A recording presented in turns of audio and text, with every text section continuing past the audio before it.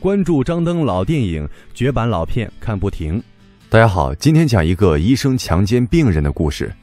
王楠与老婆正在睡觉的时候，来了一个阴差，问他是不是同春堂的老板。王楠说了是之后，阴差就把他抓走了，他当时也就死了。老婆就找木匠给他做棺材。木匠来时经过妓院，看到自己的女婿贺才正在打牌。贺才是王楠的表哥，木匠就对他说。你表弟王楠死了，贺才一开始不相信，后来知道是真的后，当时就笑了起来，因为他可以趁机霸占表弟的财产。回家后就与老婆胖丫商量对策。第二天去祭拜表弟的时候，夫妻两人哭得一塌糊涂，让王楠老婆很是感动。贺才边哭边说自己没法活了，要与表弟一起去死。王楠老婆就来劝他，他说表弟生前借了自己二百两银子，现在看来是不会还了。老婆一听，差点晕倒。还钱的话，就要把药店卖掉。这个时候，王楠被阴差带到了阎王殿，一查发现抓错了人，应该抓的是王楠，而不是王楠。两人的药店都叫同春堂，不同的是，王楠卖真药，王楠卖的是假药。阴差知道搞错了，就送王楠回阳间。在回去的路上，看到一枚金丹，阴差就抓过来让王楠吃下。说吃了之后医术会提高，还能让人起死回生。正在这时，来了一只野狐，想把金丹要回来，说那是自己修炼千年才得到的。阴差骂他在阳间做尽坏事，奸污妇女，现在正好可以用金丹来赎罪，等王楠死后再还给他。他听了也不敢反抗。这时，贺才趴在王楠的尸体上假哭，趁机把王楠身上的值钱物件偷走。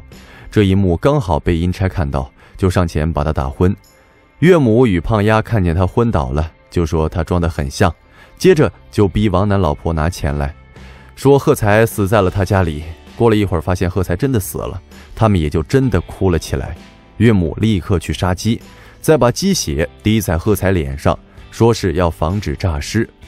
正在这时，王楠站了起来，把众人吓得跑了出去。老婆没有害怕。他发现表哥贺才死了之后，就用金丹把贺才救活。不一会儿，大家都进来了，发现两人都活了过来，又惊又喜。胖丫还在那里邀功，说全是贺才的功劳，因为贺才的哭声感动了上天，上天才能让表弟起死回生。王楠没搭理他们，立刻找到木匠，让他不要再做棺材了。到了晚上，胖丫知道了金丹的事后，就开始扒贺才的衣服。说要从他身上找金丹，理由是王楠死后得到了金丹，你贺才死后也应该有金丹。找了一夜也没找到。贺才也是开药店的，自从王楠有了金丹之后，他的生意就减少了很多。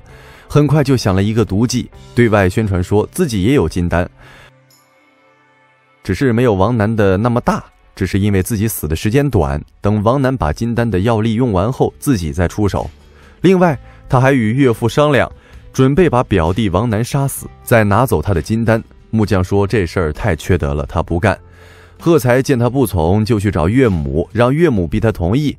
岳母当天晚上就说：“你不同意，我就改嫁。”岳父也只好同意。贺才与他制定了一个杀人计划。贺才请王楠来家里喝酒，让岳父在后面趁机把他勒死。这种方法叫背死狗。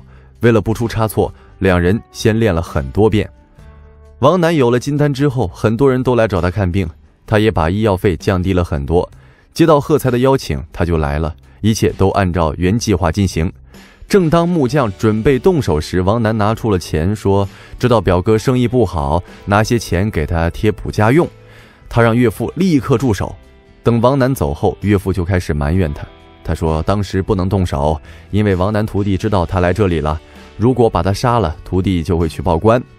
很快，他又想了一个办法，自己化妆成女人去王楠家，说家里有病人，请王楠去一趟。等王楠走到半路，再让岳父把他勒死。